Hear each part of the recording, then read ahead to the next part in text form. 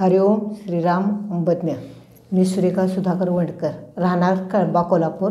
Private हायस्कूलला उपासनेला मी दोन हजार एकोणीसपासून जातो आहे मला सांगायचं म्हणजे दोन हजार एकवीस लहानपणापासून मी बापूंचा फोटो फक्त गाडींच्यावर मी बघत होतो.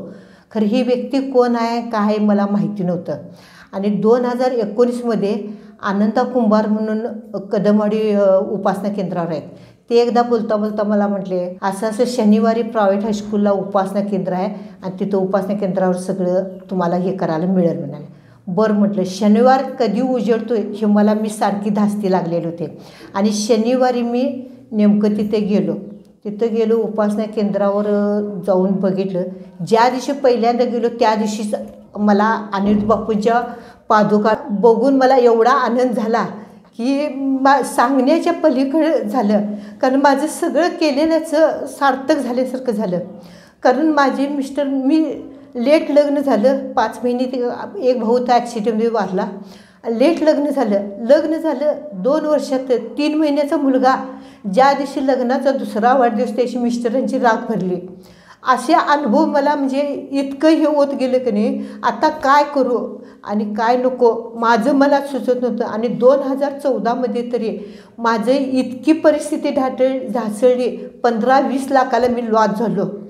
करतं तर माझ्यात पुरुष कोण नाही मुलगा अजून काय करत नव्हता.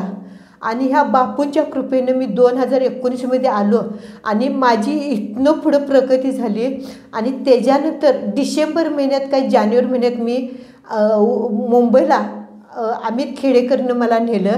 त्या दिवशी मला जातेवेळी माझ्याकडे सातशे रुपये भाड्याला नव्हतं. खरं आज जी माझी परिस्थिती झाली फक्त बापूंच्यामुळं मला आज मी बापूसने रात्रंदिवस बापू बापू बापू नुसता कुठले बी काम करायला होतो बापूशिवाय मी बोलत नाही. जी मी हातात काम घेतोय. ती बापू माझं पूर्ण करतातच. आज माझं रनिंग सासष्ट आहे. आज मुलगा सिनेमॅटिक फोटोग्राफर आहे. खरं मला बापूंच्या शिवाय चालत नाही. आणि माझं जीव टायमिंग पण मला जायला पाहिजे. कधी शनिवार होतं तर लॉकडाऊन होतं. त्या काळात उपासना केंद्र भरत होतं.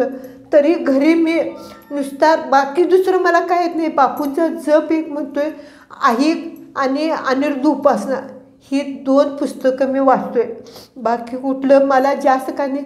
जे मला समाधान मिळते दिवसभर शिव जे आनंद मी घेतलोय हे असंच बापूंचं प्रेम अशीच आमच्यावर कृपा कायम राहून दे आणि बापूच वाचतोय माझ्या घरात. राहू कायमचं राहू दे.